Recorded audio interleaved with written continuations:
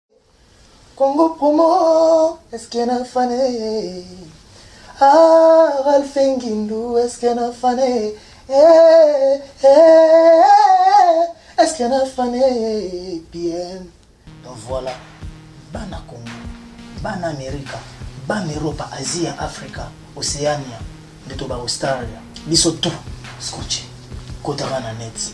congo promo information tout na fin fond ya bavillage okozwa avec l'ingénieur des ingénieurs l'ingéniosité oyo eza wana namona te faut sentir bacaméra ya caméra ya caméra ya image ya image ralph ngindo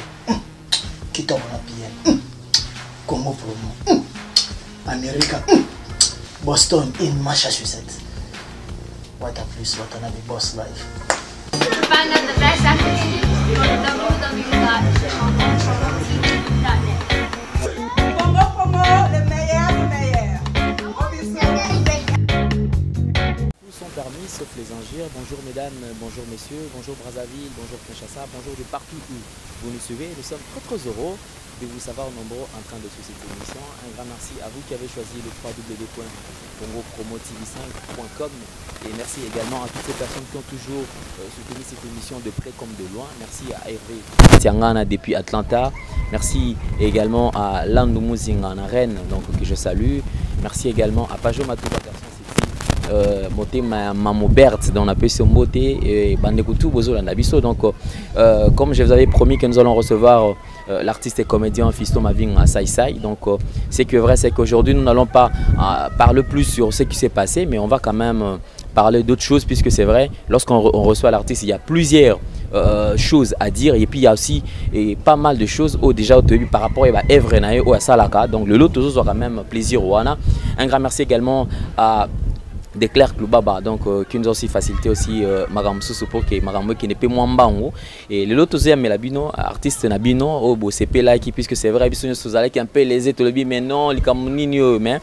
Euh, deux fois le malheur est bon je crois que tout autour ya makambo oyo esali mpe lisusu ke en plus ebakisama lisusu na carrière ya artiste oyo ya biso lelo tozoyambela bino ye bonjour fiston saisai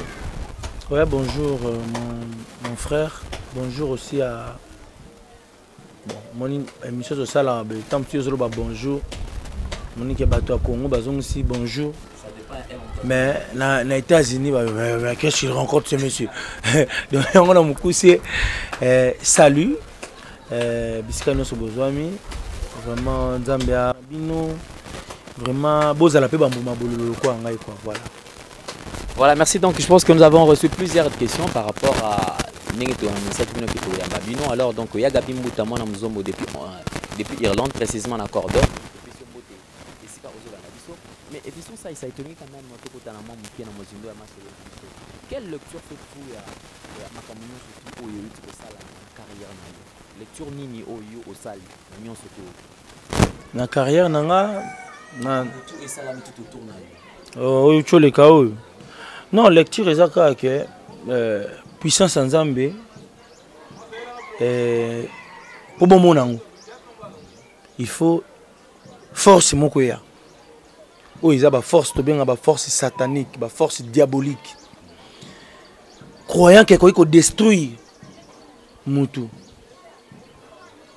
mais ntango soko puissance ya nzambe ekoya ebomi puissance wana diabolike wana nde bomonaka ke ah, nzambe aza likolo ya nyonso alors lecture na ngai eza kaka ke nzambe alingi alakisa ngai lisusu de plus na oyo nyonso asala deja mpo na ngai na oyo nyonso apesaka ngai alingaki alakisa ngai toujours ke na pere d'espoir te il est toujours avec moi parce que omoni bato bakoma okomi na étape moko boye eh, bato bakomi oya okoso baokasi balinga baneti baexplike oke omoni place okomi wana il faut omelaka mai boye mpo na protection il faut osalaka boye non alors nzambe akolinga kotika yo te olinga ye alakisi yo kaka toujours aza nzambe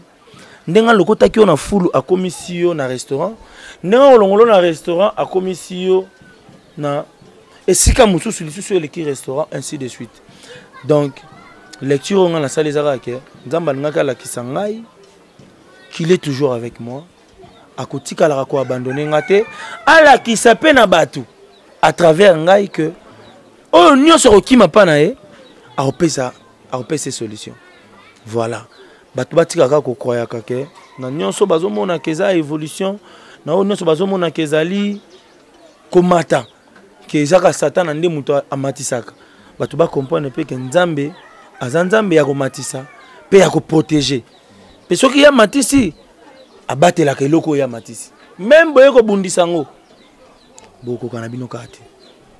voilà mais, mais, mais fiston est ce que tu t'attends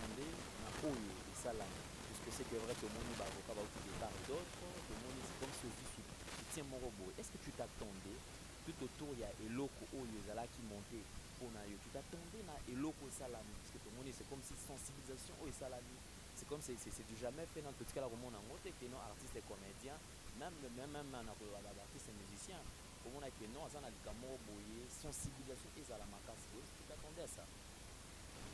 sensibilisation wana eza sensibilisation humaine te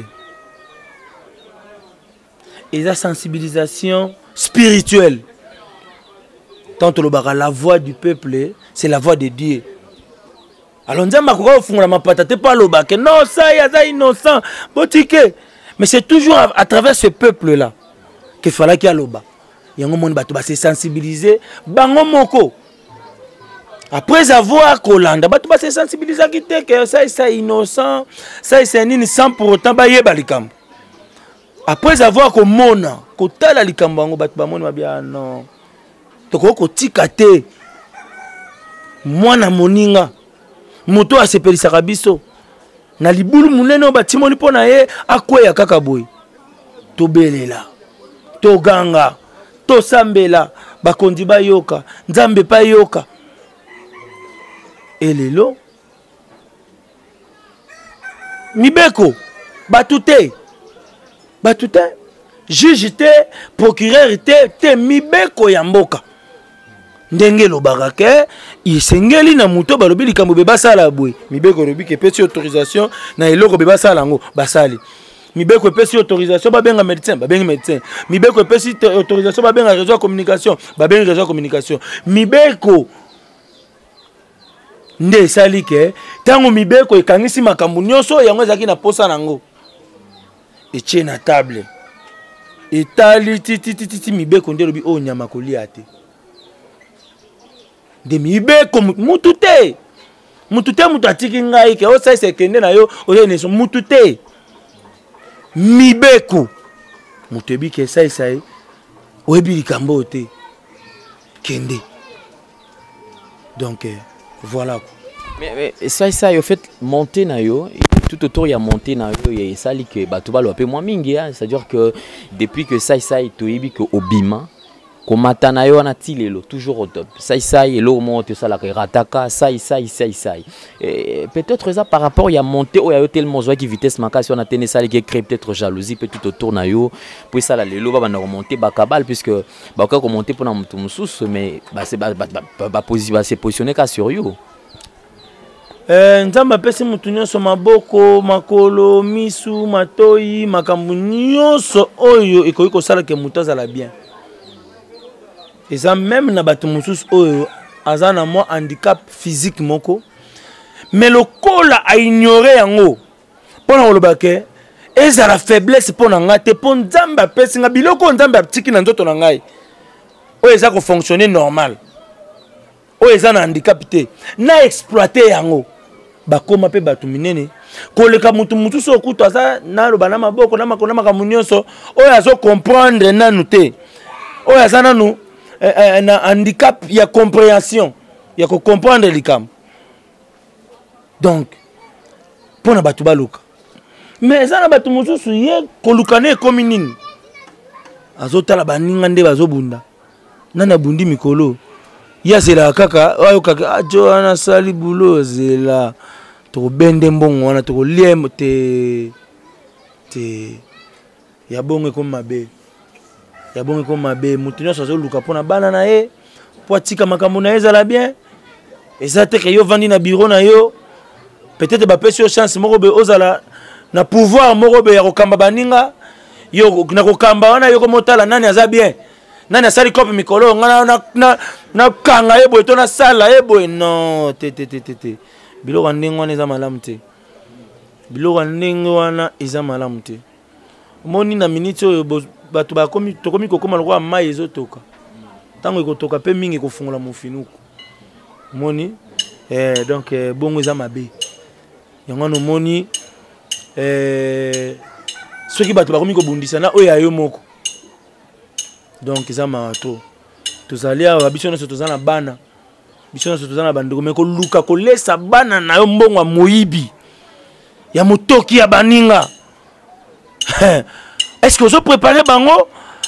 na bénédiction to yo ozo prépare bango na malédiction parce que yo ozomonaka bana no bale fufu me maloba ya motu wana oyo ebongoli fufu wana yo oyebi yango te ozomona donc euh, voilà quoi donc eloko tolingi toloba mingimingi yango wana euh, eza kaka ndenge oyo olobi wana bato ya mitema mabe oyo balingi bénédiction ya baninga te oyo balingi te baninga batombwama na misala oyo bazosala na baeffort oyo bazosala ozomona donc euh, mais biso lokola toza na nzambe nzambe wana akotika biso te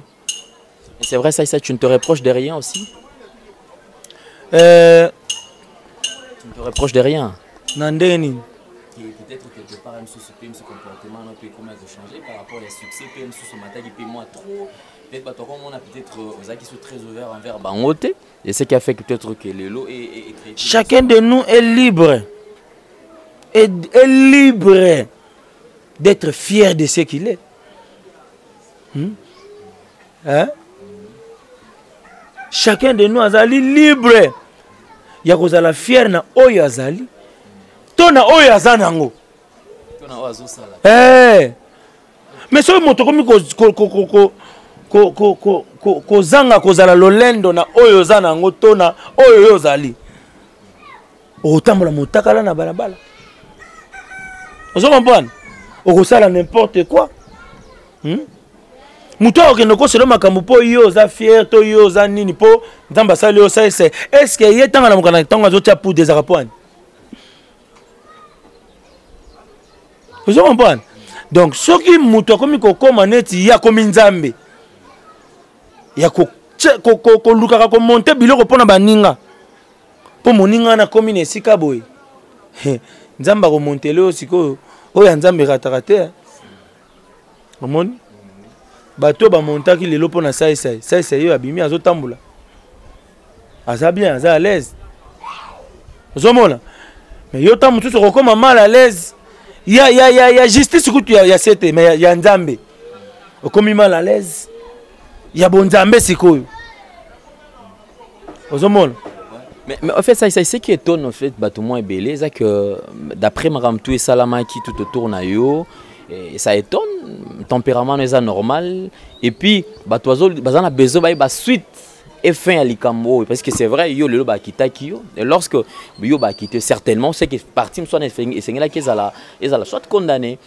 soit ba sentence na bango ezalaki nini mais bato mosusu tozoyoka bato azola départ et d'autres non saisai alobi alimbisi bango saisai alingi ne kolanda procédure wana te alobi que non justice eza ya nzambe je ne sais pas yo point de vue no eza nini moni d'abord so na bino abanda korépondre na mokili ya question na yo nzambe apesi bato nyonso mosala na bango magistrat juge avocat batanga vi na ye eza nini kokendaka kosamba na kokendaka kosambisa juge magistrat mosala na ye oyo atangi donc abokolaka bana na ye chaque jour na mosala wana ya kosambisa avocat abokolaka bana ne na mosala ya kokende kosambela motu sikoyo ngai nabokolaka bana na ngai na mosala ya teyatre sikoyo na banda otika teyatre mpo nakendaka kokɔta na misala bato kokendaka kosamba ozo comprendre wana kote ya mokila mais avocat mpe soki meme na bino atya baavocat hein? babanda kolandela babanda kosamba ekozwa une année deux ans omoni ke olela banda osala sikoyo théâtre mpo soki nazwi mwa ndambo ya mbongo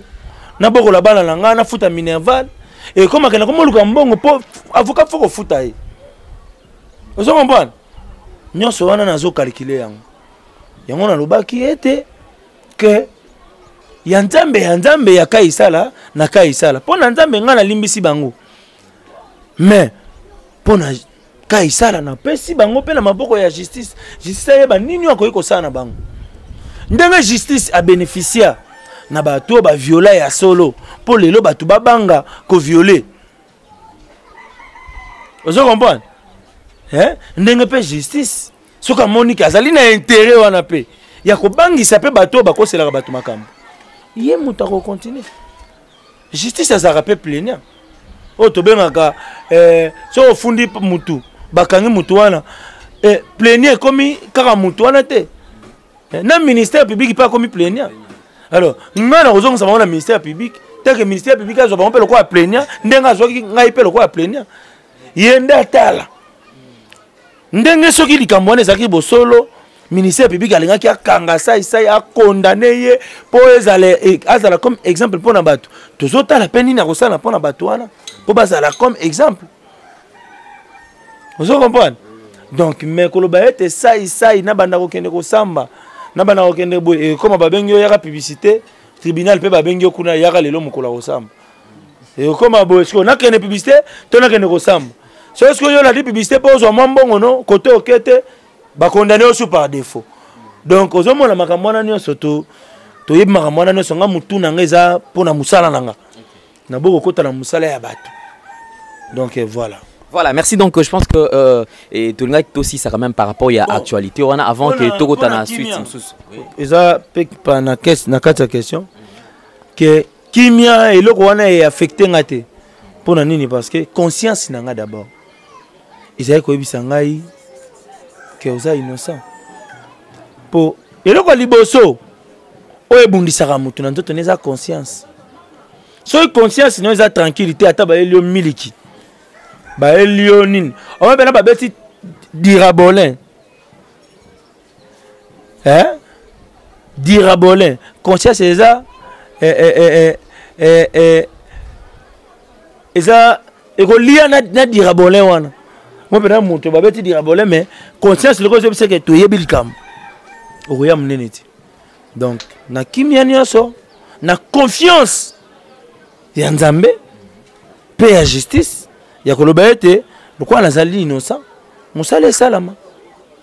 Voilà, merci. Donc, ça, euh, ça je pense que tu clôturé par rapport à dossier Oyona, le, non, le temps pendant quelques minutes euh, par rapport à Msala P. puisque c'est vrai, il y a eu trop de questions tout autour, il y a dossier ça ça. Il y a certains même qui appelaient pour dire que non, voilà, te maîtriser dossier en haut tu as comprendre,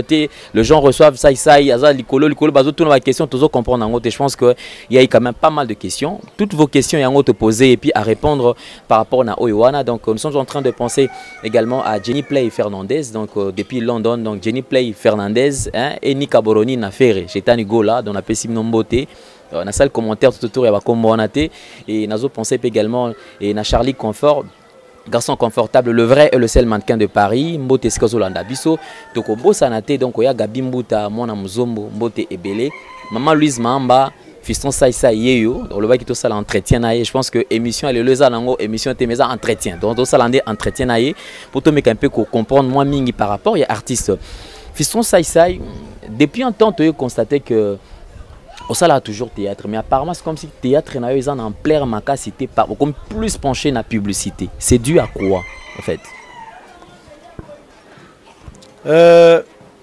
omoni so bozotuna biso baquestion ya boye eza lokola bozolimite biso quelque part tosuka na eloko moko boye nandimi te otuni jacki chan nde nini banda osali filme no ya suka ezwi deux ans ozosala filme te mpo nini mpo oyebi ke azwa mpe ntan ya koprepare eloko mosusu ya makasi lelo touti ya kolobela omona ntongo awa soki otali okomona théâtre ya suka oyo ke esali ampleur esali makambo nango tout sur le plan international kofi central sur le plan national mbutu mbutu mais napesa mpe ntango na ntango ngai nazali wa bino artiste comédien oyo nalingaka te kosala eloko tika nasala yango omoni natikaka bilembo na baevre na nga nga na préféraka mieux vo navanda une année nasali eloko te ke nasalela bato biloko ezangi ka ntina boye osala ka mpo il faut sala donc bato bazala na bango na kimia na biloko euti okota lisusu na par rapport ya place nauti donc eh, Ah, nayebi te kua biloko bato ah, bafiltre nanu naza na bainspiration telema ebele ke mosusu okosala boye bakangi yo donc veut dire eh, naofiltre nanu omoni bainspiration yaka brite soki oyebi kofiltre yango te okobimisa eloko mosusu nde oyokaka ke asala eloko abie me ndeni ekitisi ye afiltraki te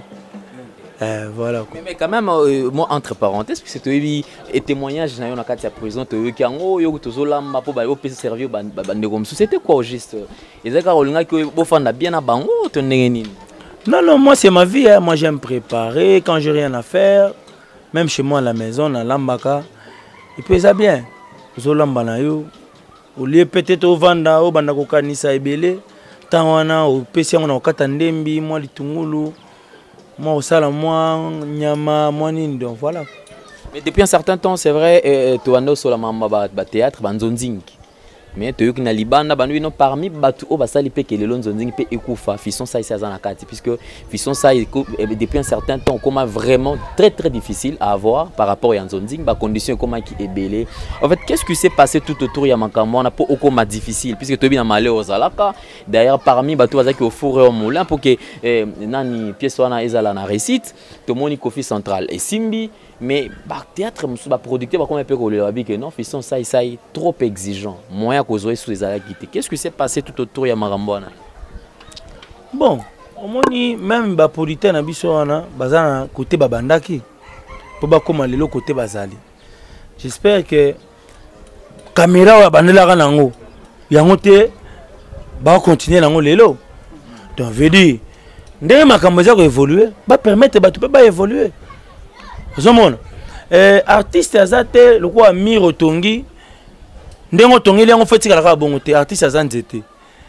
ndenge azokola ndenge misisi ezobakisama ndenge forme ezochange ndenge eh, makambo ezochange donc eh, c'était juste ça et euh, biso moko mpe omoni moto oyo aza mpe ye moko producteur en même temps artiste ayebi mwa makambo yango ekomaka mwa difficile bato mosusu kutu bamikimela bango moko apesi yo baargument sans pourtant kutu acontacte ata ngai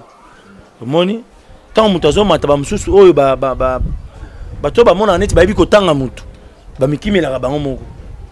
monaka de ye moko alekwa o oh, nini ah, wana fo azala komi chere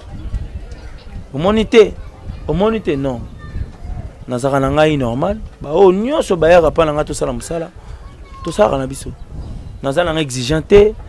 naza na ngai te o oh, artiste moko compliqué non tokosolola nasengi yo nakosenga oyo amoni kaka ofuta futi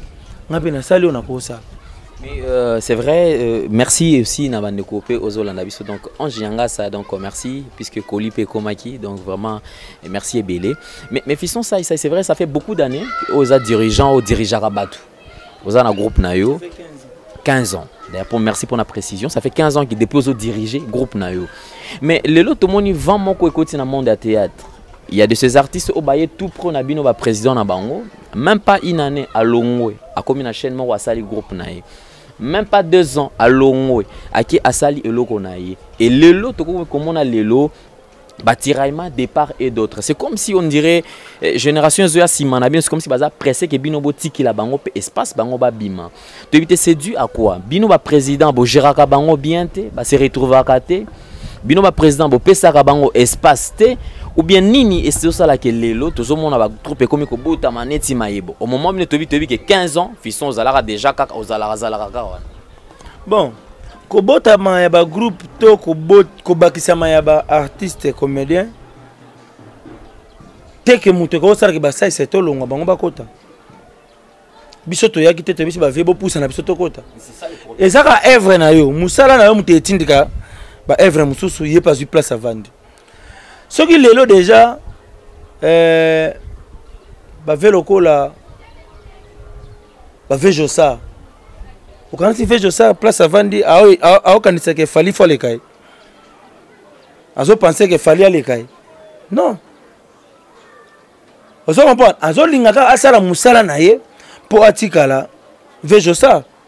ndenge mpe fali azolinga mpe asala mosala ne mpo akota mpe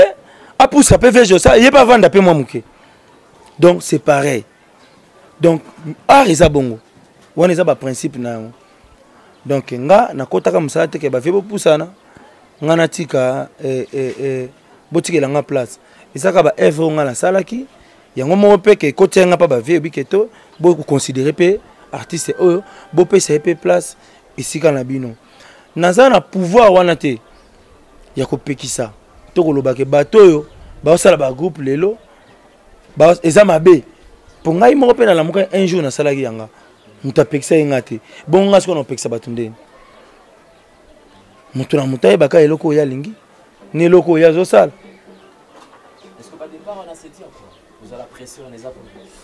ngai na oyeba ndeni mais lelo tomoni bana lelo oyo alongo lelo oyo alongo en fait qu'est-ce qui se passe ngai nazalaka pressé te mais nazalaka nde près na mini toso baluka jo moko na rdc akosala filme neti jacques champ nakoyekola kosote kaka na filme wana mpo nazalaka près ozomona donc euh, eloko omona koloba kaka eza pressé wana c'est dû ya eloko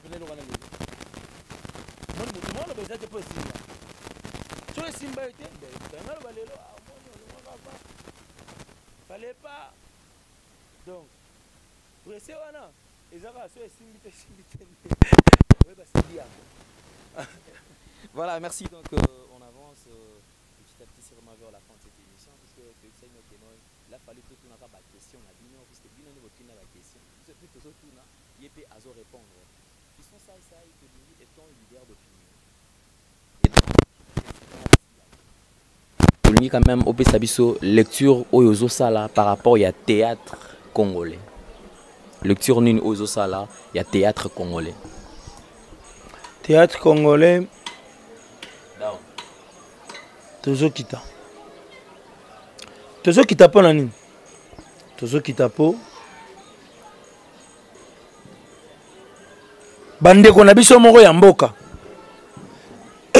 babateli biso te bapesi confiance na libanda ke soki toye na filme moko boye awa tobakisi yango baverset biblique tointerprete yango eosimba tala kaka na bachaîne de télévision ba es, excuse ba espace oyo bapesi na biloko ya libanda ba espace oyo bapesi na biloko ya libanda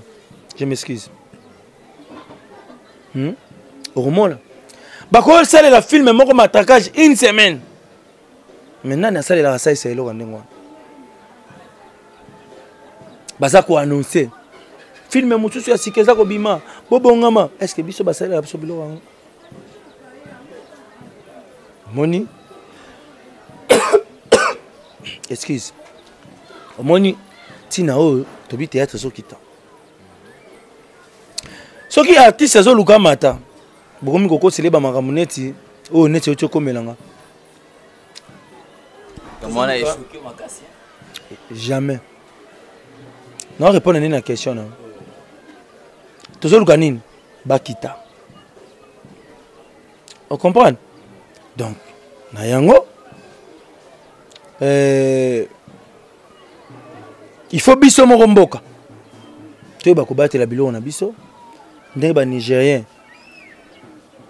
babateli culture na bango te me batomboli yango ah, or biso na mboka na biso tosenga batombola kaka te me babatela mpo toza deja na art moko oyo ya kosakana nango te isifi tobatelaka oyo oyo eza nanu dega me bamboka mosusu baza kutu na yango te bacreye nde mpo batombola yango mpe babateli yango donc c'est un peu ça art na mboka na biso ekomi kokita ezokita te mpo baartiste bayebi mosala te ezokita te mpo baartiste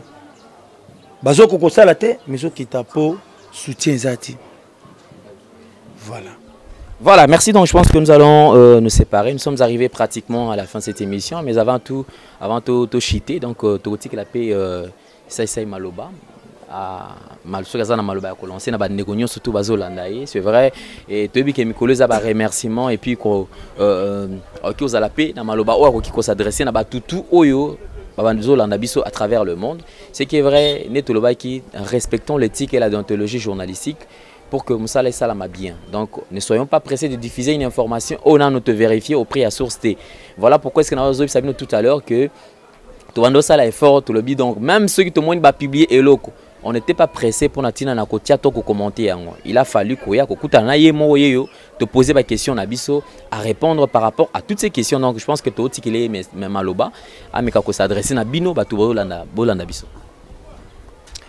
euh, bamerci kaka na bandeko nyonso basoutenir nga na baprière na nyonso bosali ngai merci ya wili etoka merci na famille etoka mobimba mama jolie bana nyonso merci na batravailleur nyonso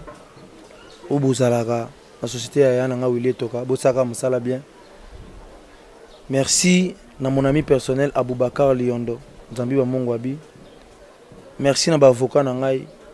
maître tony Maître Martin, Maître Tansia, Maître Karine Kitete. Merci na ba famille na ngai. Merci na ba soutien nyonso eyaki monde entier. So na bina tanga ba kombo. Tolala. Abubakar Liondo. Nzambi ba Mongwabi, mon ami personnel. Ya Willy Moucheni Koda Mboka. un canadien de moins au canada le vieux king makiadi merci na bino nyonso nzambe apambola bino basoutien na bino yango naza libanda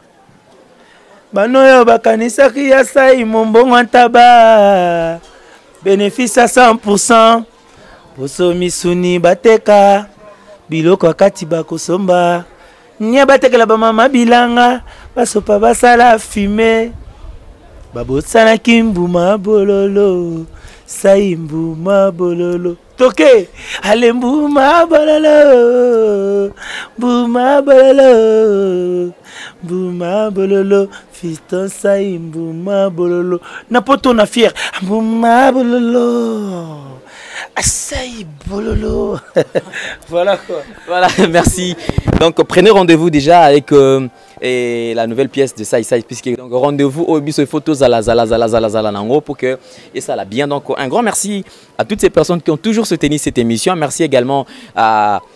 Declare que euh, Lubaba qui nous a facilité aussi euh, certaines choses et puis Toebi Kenaye donc en tout cas il assure quoi rien à dire donc euh, un grand merci à mon boss euh, Raph Ngindu depuis Boston Motebele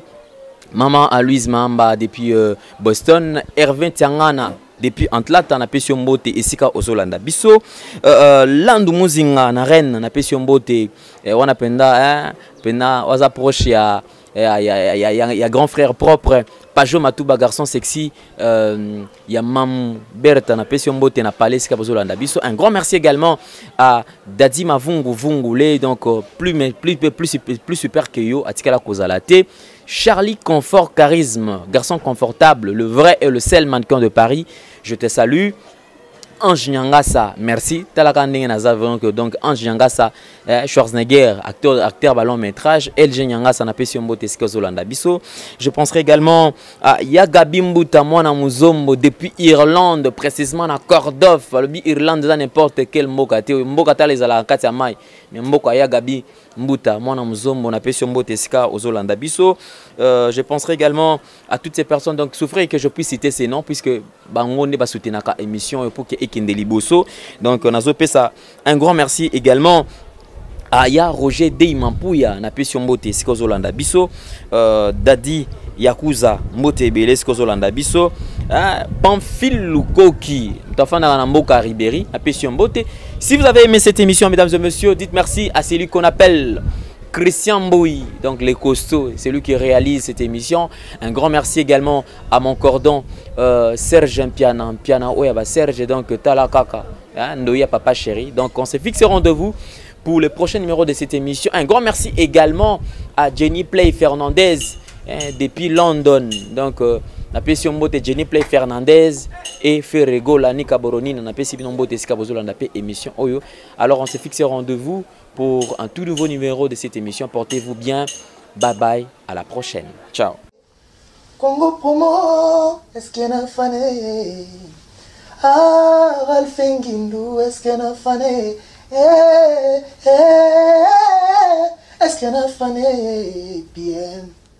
Donc voilà,